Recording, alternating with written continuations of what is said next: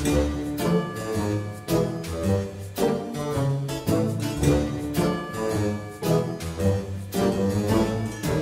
guys, welcome back to another video. I recently put out a tutorial that showed you how to make anything look like metal using graphite powder and shellac. And while this is a great effect, it can be a bit expensive, especially if you're doing a large project. So after receiving a few messages about this, I put my thinking cap on to come up with a method that's a bit more cost effective and uses some stuff that you'd find around the house. So let's get to it. As with most projects, I needed a part to demonstrate the effect, so I'm using this 3D printed antique lock that I 3D modeled and printed. I'll leave a link in the description if you want to download one for yourself. The next thing I'll need is some black acrylic paint. You can use any style of paint, just make sure it has a matte finish. The last thing we need is baking soda. This is going to thicken the paint and will allow me to give it some texture during the painting process that will make it resemble cast iron. To make the lock easier to paint, I put some double-sided tape on a popsicle stick to give it a bit of a handle. This isn't necessary for the effect, it's just a favorite method of mine for handling small parts. With that taken care of, it's time to mix our paint and baking soda. I found that it's roughly a 1 to 1 mix, but you can add more if you find that it's difficult to brush on.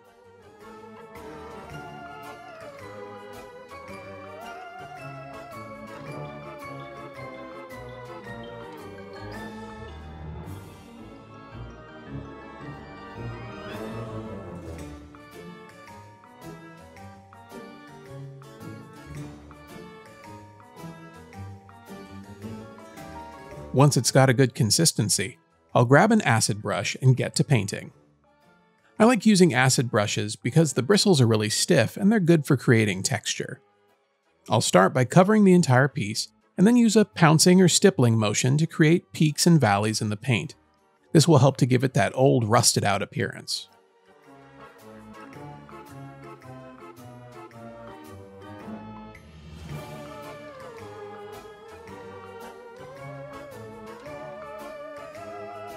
If your piece has any fine details like mine does, you'll want to make sure not to go too heavy in those areas so that they'll still be visible to highlight later.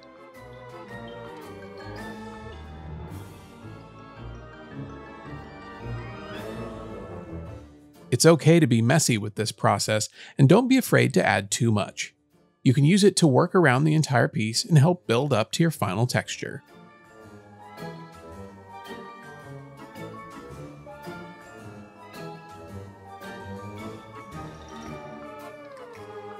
This is a great technique that could be used for creating old metal strap door hardware for a dungeon, prop weapons like swords or handcuffs, and just about anything that you want to look like it's been left to erode out in the elements.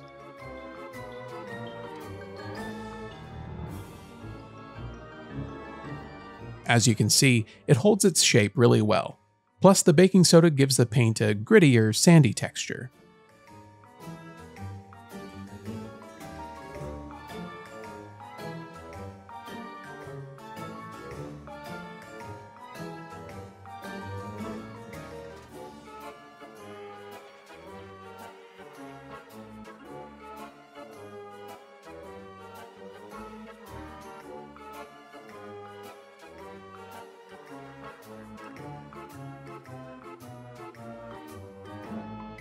If you really want to build up the finish, apply your first coat of the paint and baking soda mixture and then set it aside to dry.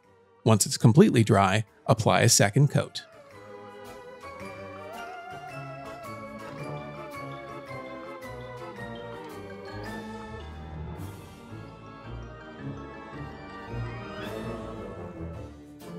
When I'm happy with how it looks, I set it aside to dry and went to grab some paints to help sell the rusty appearance.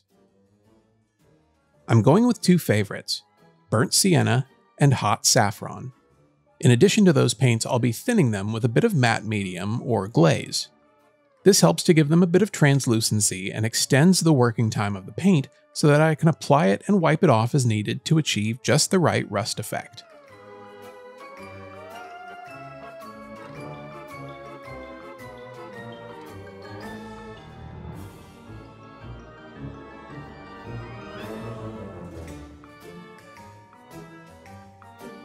I started with the burnt sienna and then switched to the hot saffron as a highlight, being sure to work the paint into the details and wiping off any excess that looks a bit too heavy-handed. This approach allows you to build up to your final effect, so don't worry about nailing it on the first pass. Plus, the amount of glaze used determines just how strong your rust highlights will appear, so you'll want to test out your mix to get a feel for it.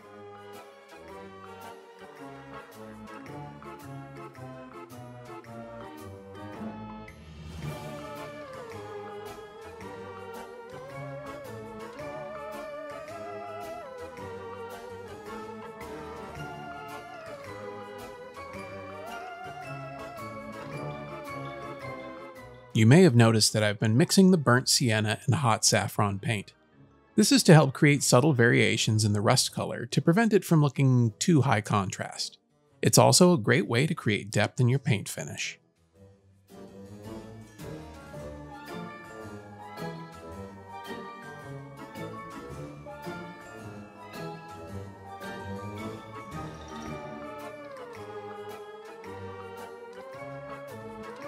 Something to consider when you're painting is how the piece will be seen. If it'll be in dim lighting, you may want to make the paint a bit more dramatic so that it can still be seen in the dark. If it'll be under brighter lighting, you may want to go with a more realistic approach.